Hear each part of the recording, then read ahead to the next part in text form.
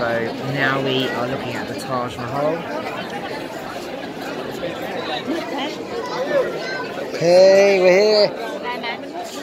I'm looking forward to this for a long time. It's really busy, lots of people, and we are. About you can go inside, can't you? You can go inside the Yes. Taj. Yeah. I'm about to. We're going to go, go. We're going to walk into the Taj. Just admiring the, the beauty of it. What an amazing, amazing spectacle. So